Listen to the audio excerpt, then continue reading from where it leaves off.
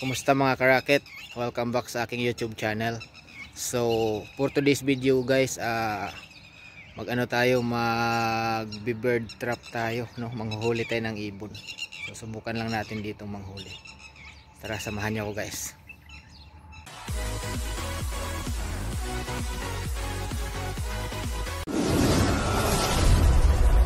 So, ito lang yung aking gamit guys. Simple lang, itong crates na to. Tapos ilalagay natin ito doon. Yan, may tali. Ilalagay natin sa malayo. Yan. Takin natin kung hanggang saan abutin to. Ayan o. Oh. Yung malayo talaga para hindi tayo makita. Ayan, pwede na dito. So dito natin i-set up ngayon. Ang sistema, maglalagay ako dito ng ano sa ilalim ng tubig at saka yung bigas. So dudumugin niya ng ano mamaya ng ibon. So yan. Okay set up ko muna guys no? So yan guys may lagay tayong tubig at saka ano bigas. So yan na yung pinakapain. So yan yung set up oh. Simple lang no? Tapos yung tali malayo yan. Nakatali yan dyan. Yan oh. hahatakin ko yan mamaya dito ako pwesto sa malayo. Pag lumapit yung mga ibon ayan o oh, dito ako. Yan. So hindi nila ako masyadong makita dito. Ayan o oh, doon ang ano natin trap. So mamaya pag may lumapit hahatakin lang natin yung lubid. So yan abang abang lang tayo muna guys. Guys nakahuli ako ng dalawang inakay oh dalawang inakay ng ibon. So ito yung gagamitin nating ano pain. Yung mga maingay na yan yan inakay nila to. Ayan oh. Maliliit pa. Nahuli ko doon sa gilid. So ilalagay ko ito doon para maging pain. So tara. So ayan yung dalawang inakay guys. Gagawin nating pain dyan. Yan nakasit up na yan so let's go. Try natin kung makakahuli yan. Lalayo lang tayo.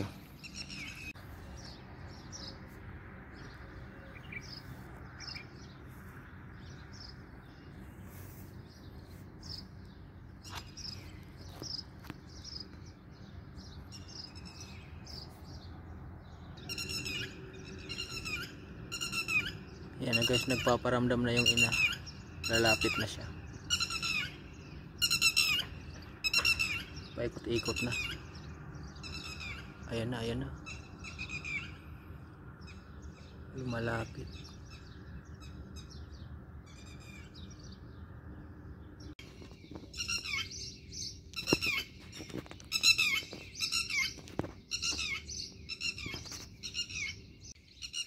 nilipat ko sa mas malayo guys dyan sobrang layo yan oh. ayan doon pa tayo oh. Mahaba naman yung tali. Kaya okay lang yan. Para hindi masyadong ano. Yan oh. Layo. Yan. Para hindi sila masyadong mailang. So dito lang ako po pwesto sa malayo. Yan. Yan mo, layo na yan. Oh. Sobrang layo na. I-zoom natin. Ayan oh. Sobrang layo na yan guys. Hindi ko lang alam kung lalapit na yan ganyan kalayo. Medyo umaaligid na yung manok.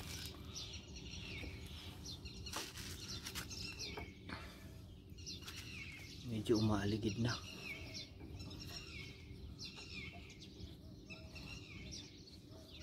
mamaya pag lumapit. Pause muna. Pause muna na. May mga umaaligid na guys. Baka sakaling pumunta na doon. Nakaabang na ako para hatakin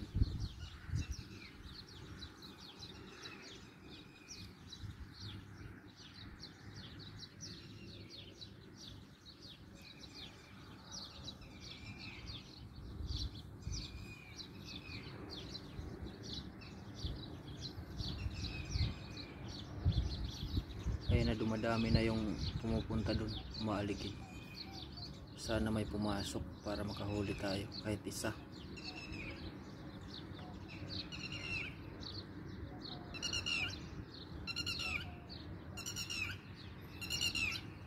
Yan may papalapit doon guys oh.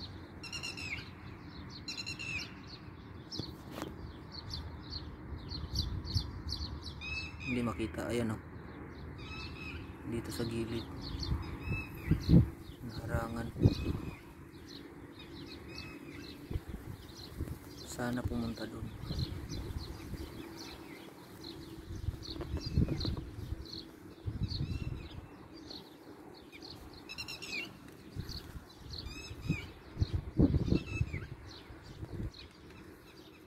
May, may, may pumupunta doon. Sana pumasok.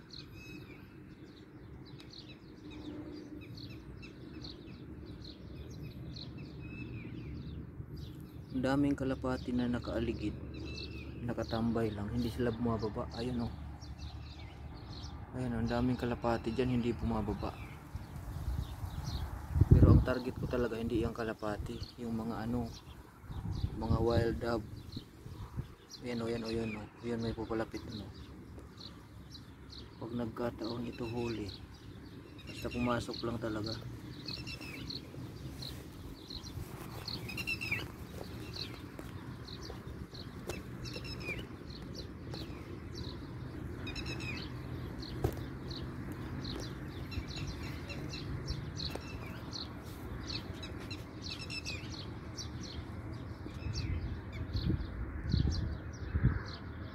Yan guys oh.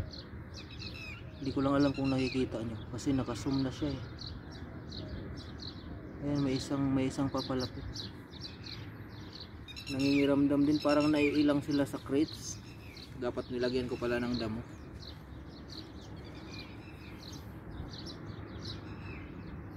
Nailang silang pumasok sa crates. Ay lumayo yung isa. Zero talaga tayo ngayon, zero. Hindi nagpapaloko yung mga ibon dito, guys. Ganda na sana ng setup. Ayan, ayan, ayan, ayan. Ayan, lumapit ulit, oh. Doon, doon punta, doon banda, doon banda sa may ano, may pagkain doon. Punta ka doon.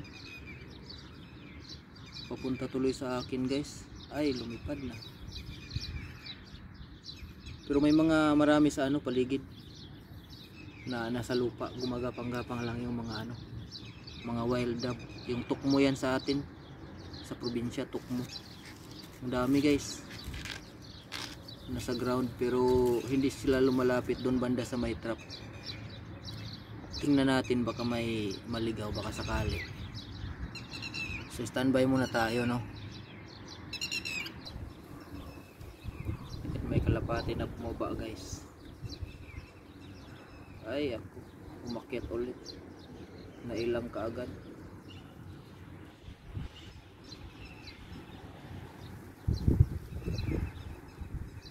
ang dami sa paligid na sa ano gumagapang-gapang lang sila. Naiilang silang lumapit doon. Nilipat ko siguro ng pwesto guys kasi masyado silang naiilang doon. Walang masyadong lumalapit. Lipat ko dito banda sa makulimlim nilipat ko lang ng pwesto guys kasi walang pumupunta talaga doon. So dito medyo maraming pumupunta dito kasi makulimlim. So baka sakali tayo. Ayan o ang dami nasa baba. Pero naiilang silang lumapit. Siguro dahil sa crates na takot silang matakluban sila dyan. Kaya abang-abang lang muna tayo. Baka sakaling mayroon tayong maloko na ibong tanga no Ayan ang dami talaga yan sa sa ground gumagapang-gapang lang. May lumalapit kanina tapos umalis din kaagad. Yan. Tiyaga lang guys, patient is the key. Ay, nag-alisa na yung iba.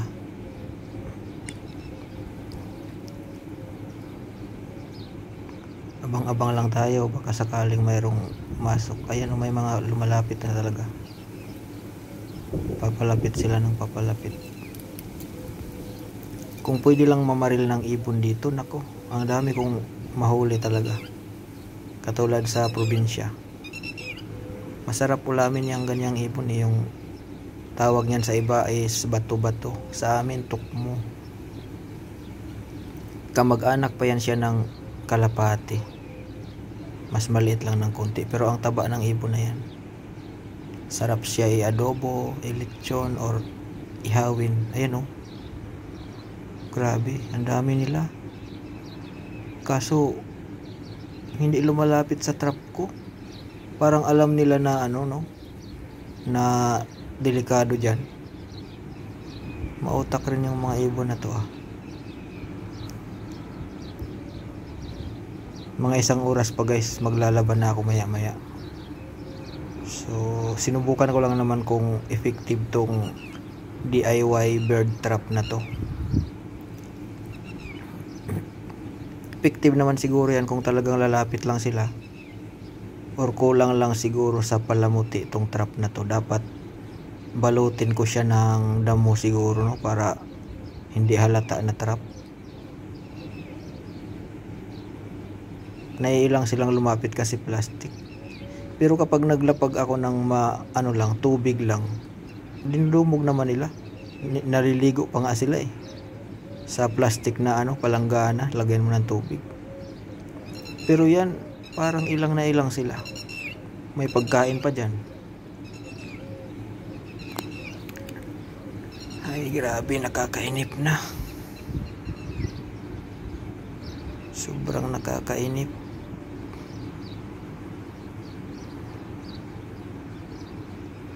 dami sanang ibon dito guys. Kaso bawal lang talaga tayong mga ano manirador at saka mang mamaril. Ayan oh ang daming lumalapit ang daming bumababa sa ground. Pagapang-gapang. Dalawang cute na inakay. Pagapang-gapang sila sa lupa kanina eh. Ayan dinampot ko. Pero syempre pakakawalan din natin. Kawawa naman. Ang liliit oh yung maingay na ibon yan yung ano nila. Yan yung magulang nila. So ganito pala sila pag maliit pa oh. Ayan yung hitsura ayan. Kulay brown pa siya no? So pakakawalan natin dito. Dyan dyan sige. Ah, pwede na kayong kumawala dali. Takbo. Takbo na. Uy. ayaw tumakbo talagang dumadapa lang sila eh oh. ayan ayaw nang tumakbo so bye bye